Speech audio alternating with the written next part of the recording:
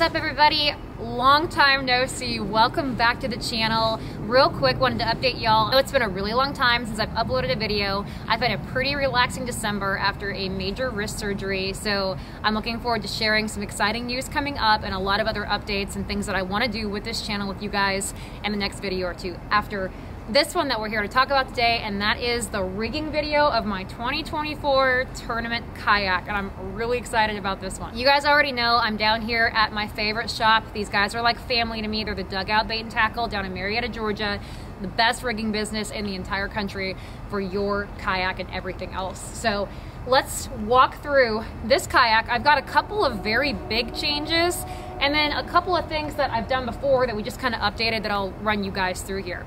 So first and foremost, you guys, let's start with the kayak. This is new from Hobie. I will be doing an entirely separate video on the main differences and, and some big updates with Hobie as well. I've had a lot of questions that I've wanted to address regarding you know, quality control, some issues with the 360, concerns.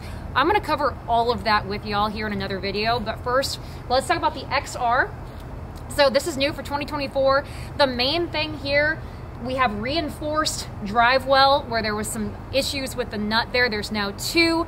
We have reinforced drive well. You can lock this drive out. So if something happens, you're able to lock out the 360 drive and essentially use it as a 180, which could really come in handy. Also new for Hobie moving forward in 2024, they're gonna have reinforced seat posts. So these metal plates under the seat to give you a little extra stability there. Let's go over just some of the aesthetics of the kayak. This year I did go back to blue.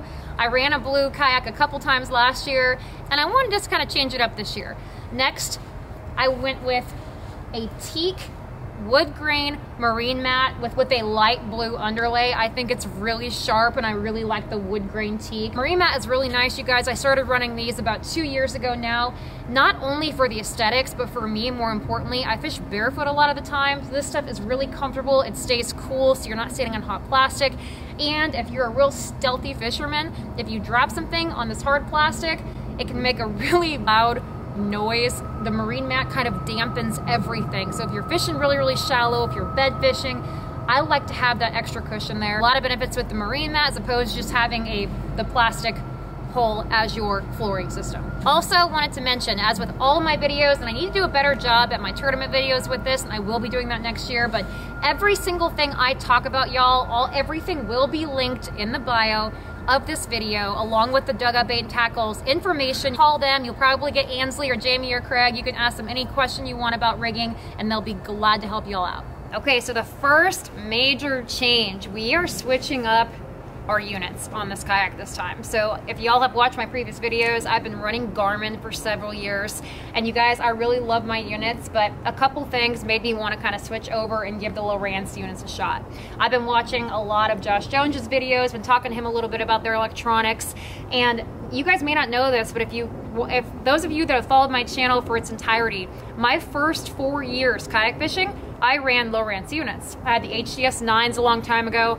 I love their mapping. I love their 2D. I love the side scan. The interface was super easy. Probably one of my favorite units. Then I made a couple switches, ended up with Garmin in the last few years. No complaints there, but I was just kind of ready to try something different and go back to Lowrance that I'm very familiar with and just thought it was time to kind of switch it up a little bit. I've heard really, really good things about these units. These are the HDS 10 Pros. These two units link up, which is really nice. I utilize side scan a lot and I still am kind of old school and do some 2D things. So I just feel very confident in this, in Lowrance's abilities to do that. And lastly, the waypoint management was just a little bit easier for me and kind of how I like to do things on Lowrance. So I will let you guys know kind of as I go throughout the season what I'm thinking of this. I've got some really exciting trips planned in Texas here coming up where I'm going to learn, hopefully learn a little bit from Josh about Lowrance settings for forward-facing sonar. I think that'll be my biggest adjustment going from Garmin to Lowrance to kind of get that all dialed in, but, but I really don't think that's gonna be any issues. So that's the first major change. Now, one thing I want you guys to take a look at, I did a little short story about this, but this is a brand new graph mount that Jamie Koza here at the Dugout Bait and Tackle designed and is manufacturing, and it is flawless. This is called the dashboard. It, it is highly customizable. You can fit it on any kayak. One of the great things about running it on a Hobie is that it completely clears the pedals. So you're not gonna have an issue of having your pedals. If you're using your graphs up front like this, you won't have to worry about them running into your graph mount. It's got enough height clearance to where your cables do not interfere with your front hatch. And one of the really neat things, if you are going on a really long road trip with everything here, you can just simply unscrew all four sides of these, take unscrew your graphs and take this entire thing off. So it's it's very travel friendly. Another thing what you're gonna see here, you guys, is I have two track mounts that are mounted to either side of this. I'm gonna do some live streaming from my tournaments this year. That's one thing I really wanted to incorporate into my videos. So I've got a RAM tough claw hole over here for my phone. I can run a battery up front, have it fully powered, and do a little bit of live updates from the water during my tournaments, which I'm pretty excited about. And I've got just a little GoPro one on the side here that I might mess with throughout the throughout the season as well. But highly customizable. They work really well on every brand of kayak and the dugouts got them. The link will be in the bio for that. All right, you guys, back here we have an upgraded pulley system. So this is something that Jamie improves on every single year. This year you can see we've got, cable is one of the toughest cables on the market. I'm the one that's the hardest on my gear than anybody out there in existence. Jamie has challenged me to see how long it's gonna take me to go through this. He thinks that I'm not gonna be able to destroy this one. This cleat makes it extremely easy to lift up your heavy Torqeedo 1103 or whatever larger motor you run and clamp it down. Jamie has this mount angled a little bit so it makes it even easier to clip and unclip. Our pulley system is gonna run all the way back with several different attachments making it extra smooth. I am running a YakAttack BlackPak again. I really really enjoy running this crate because of the lid it comes with and because you can put a lot of different things on it. I'm gonna put several rod holders on mine this year. If we open this thing up, all of my power connects back here behind my seat into a 60 amp Dakota lithium battery. Jamie has made this a very clean job along the sides. I can simply unclip my battery, lift it out to take it out and charge it. I've got plenty of space in this extra large black pack here as well. For our motor this year, you guys, sticking with my tried and true Torqeedo 1103. I've ran Torqeedo for about five years now. Absolutely love this motor. Couple things though, with any motor purchase, you wanna make sure you add this piece right down here. This is the rock guard from Innovative Sportsman. I've actually broke a rock guard before, so that can tell you what that would do to your prop or your motor body if you didn't have that invest in your equipment and that is one of the most important things that I've done. I also really like these metal triangle, these metal steering triangles that you can make to put on your Torqeedo instead of the plastic ones. I just want my stuff to be as indestructible as humanly possible. So those are things that I always will do on my motor. I will always have a rock guard on there and I'll always have a metal steering triangle. This year I've decided to add a Power-Pole again. I think I'm gonna try to, to run a Power-Pole in a couple of tournaments. I've had some had some issues with them before, but I think, you know, I've found enough scenarios where I've been wishing I want one. So I am going to run one this year in a couple tournaments, and I'll keep you posted on whether or not that suits me or it doesn't. But for this year, I, I had Jamie throw a Power-Pole mount on, and we're going to play with that a little bit to see if this is something that I would actually utilize. So up front here, we've got our point one. That's a very important GPS puck that you should come with all your Lowrance units for pinpoint accuracy. You guys, this is huge when you've got brush piles and you want to know exactly where you're sitting in relation to your target.